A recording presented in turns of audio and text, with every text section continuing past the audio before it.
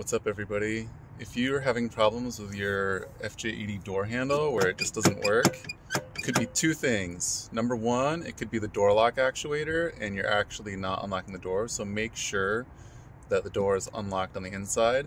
And number two, it could be another little plastic piece that's pretty easy to replace and pretty easy to fix.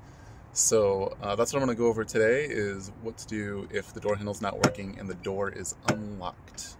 All right, let's check it out. Start by making sure the door is unlocked. You might also want to check the child lock. However, this is not relevant to the outside door handle. The child lock only is applicable to the inside door handle. So the problem I'm about to show is only if the outside door handle is not working. If your inside door handle is not working, make sure that the child lock, this is in the child lock position where the inside won't work. And then this is the unlocked position you have this handy little sticker here. Alright, check those two things before you tear your door apart. Open up the door so you can access the door handles and pull the trim off. For this repair, you should be able to open the door from the inside if the handle on the outside isn't working. If both handles are not working, then you're really in trouble. Both the inside and outside handles use similar clips, so if both of them break and you can't open the door, that's a really big problem. So I would suggest that you try to do this repair if one of them breaks, um, because it would be really bad if they both broke and you couldn't open the door. So start by removing the handle and the trim around the door handle. You can see me doing it here on the rear lift gate because that was the one that broke on my car, but you can also do the same exact repair on the doors. You just need to remove the door card, which is a little bit harder than this rear trim piece on the lift gate. Once the trim is removed, you can look inside and see how the actuator mechanism works. I will show you in a moment up close. Take a look. Here you can see the door latch mechanism, and you can kind of see right there where I'm pointing with my finger the part that has come apart. This piece fell out of the actuator arm on the door latch. In just a moment, you will see me be able to push it back in so you can see how it looks.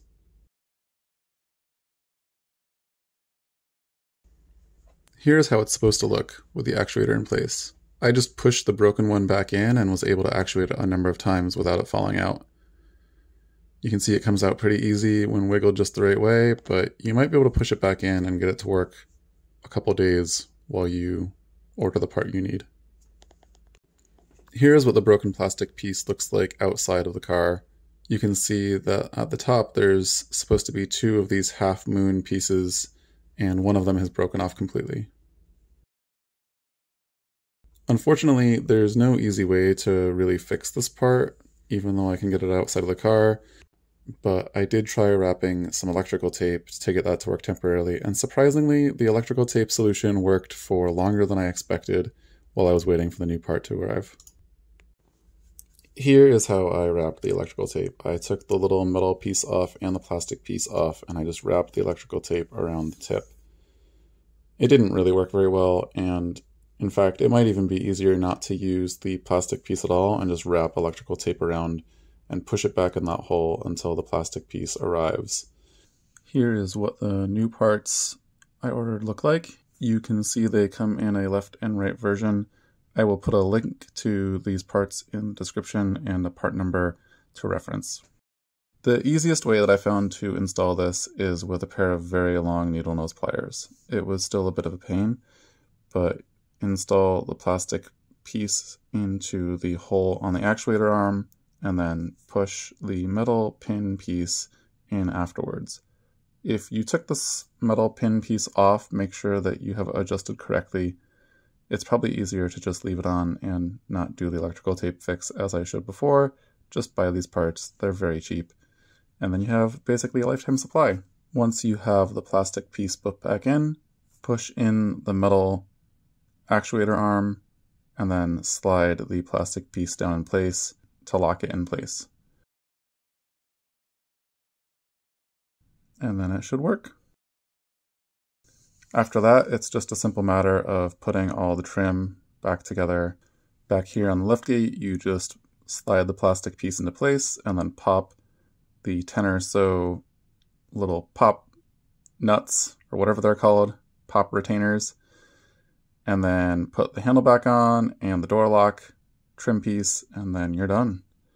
It's pretty simple.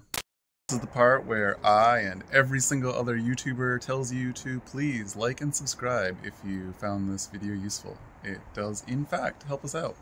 Apparently, algorithms are a thing. Who knew? Alright, thanks.